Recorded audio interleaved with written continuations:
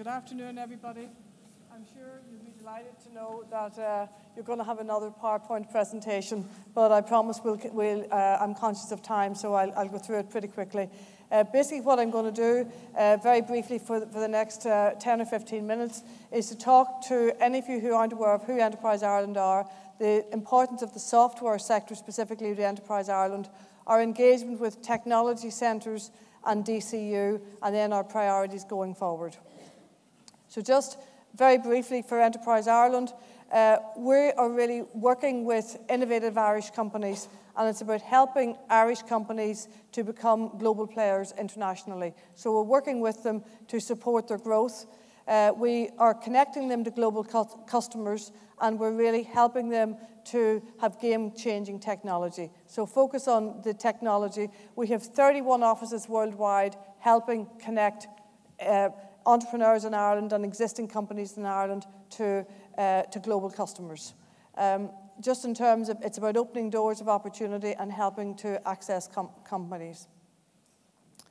Uh, in terms of our exports, uh, the key market for it is still the UK. Obviously, in the technology side, US is a key market, and the, the other main market is Northern Europe. Uh, it's about partnering with Irish industry. Uh, total exports 2012 16.2 billion. What you'll see here is the sector that grew strongest in uh, 2012 is software sector. And that is the only sector that throughout the whole downturn continued to grow every year. So it's a really important sector from an Enterprise Ireland perspective. In 2013, there were 18,000 jobs created in Irish uh, enterprise. That's 175,000 people employed directly and about 300,000 if you include the indirect jobs associated with it. Spending about 18 billion annually in the, in the economy. So really important. And similar spend, Irish companies spend the same amount annually in the Irish economy as all the multinationals in Ireland. So there's a lot of uh, misperception that the Irish companies have a, a much lesser contribution really significant spenders. In terms of from a, an innovation perspective, and obviously in technology, innovation is key. We have almost a thousand companies at this year, at this stage, who are spending 100,000 or more annually in R&D.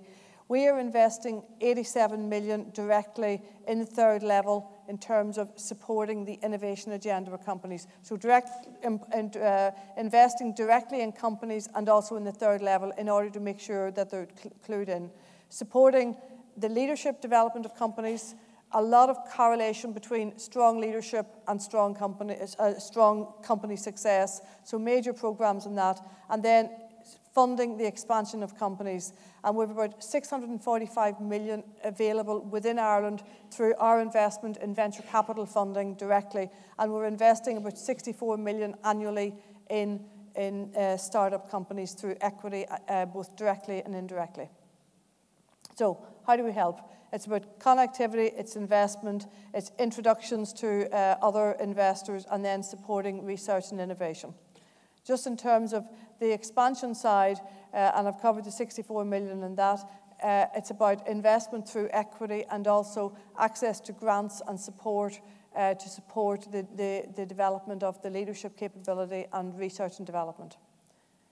In terms of the uh, company development side, we're working on the investment both directly in terms of supporting companies with their leadership development and also access to networks that can support the development of companies and also access to mentors and also entrepreneurship throughout Ireland. And obviously, that's a key focus of uh, uh, the government policy. Just in terms of the sectors in Ireland as to where software, and by software, it's everything in the ICT related uh, sectors. Food is the largest sector of Irish industry, about 55% of the total, but software is, is, is number two. So it's a really important sector from an Irish uh, enterprise perspective. There's about 640 software companies within our portfolio employing over 11,000 people, and that's on a uh, trajectory to grow to about 18,000 by the end of the decade.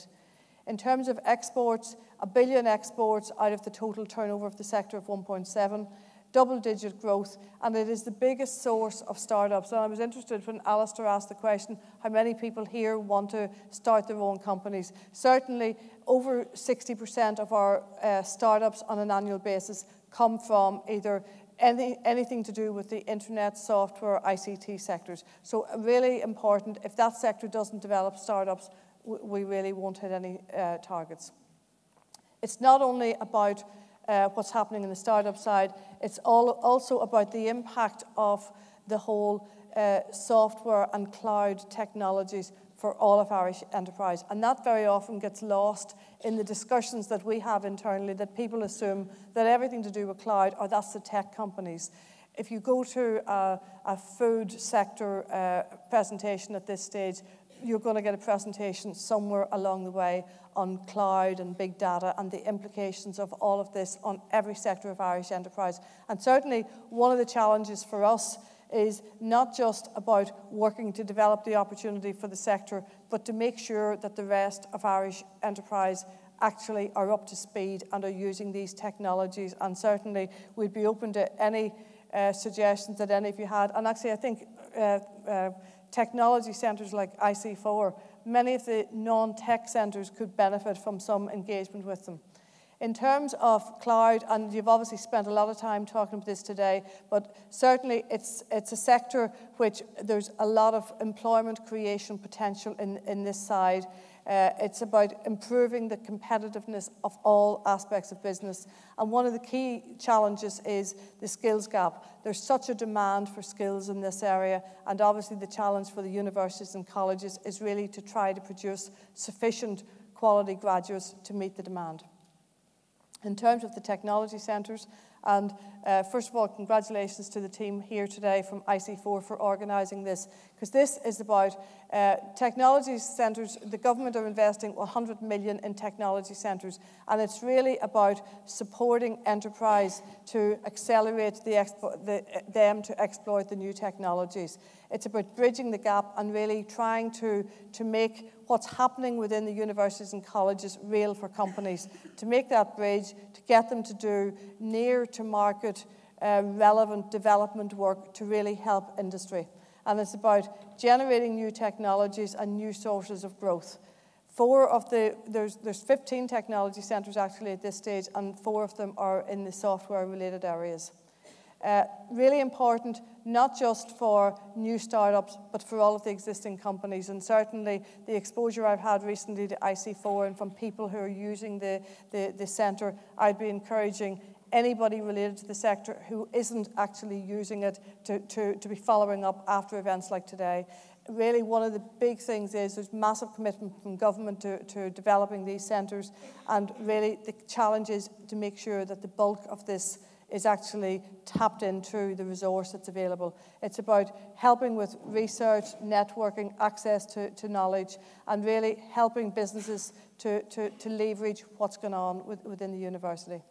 On a wider basis with DCU, we're working with uh, the university in terms of leadership programs. Management for Growth is one for supporting Irish industry, which DCU has won the tender for against competition globally. So, really strong uh, input. Uh, entrepreneurship development, and this is about uh, supporting uh, startups. And we're specifically focusing on underrepresented groups. And, uh, and over the next number of weeks, what will be of interest to a lot of people in the room here is specific initiatives for uh, youth entrepreneurship programs. And youth being uh, up to uh, 25 to 30 is the age group. So, really, it's about helping earlier stage uh, uh, entrepreneurs to, to, to get on the road. Uh, female entrepreneurship, something which is uh, Ireland is pretty much behind the curve in terms of the, the, the, level of projects coming up on this side. So we're specifically focusing uh, uh, uh, competitive funds to encourage females to start their own companies and having some success in that side. And then the last area of interest here is the international education side, where there's significant work in terms of encourage, encouraging foreign students to come to places like DCU to avail of the excellent education system.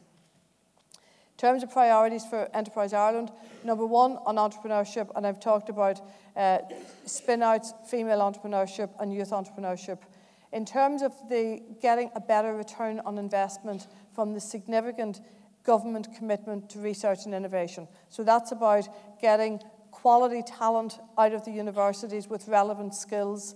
It's about uh, getting more licenses out of the universities, more spin outs, and actually making sure that uh, areas such as the technology centres like IC4 are being used by enterprise to make sure that uh, Irish enterprise is at the leading edge globally.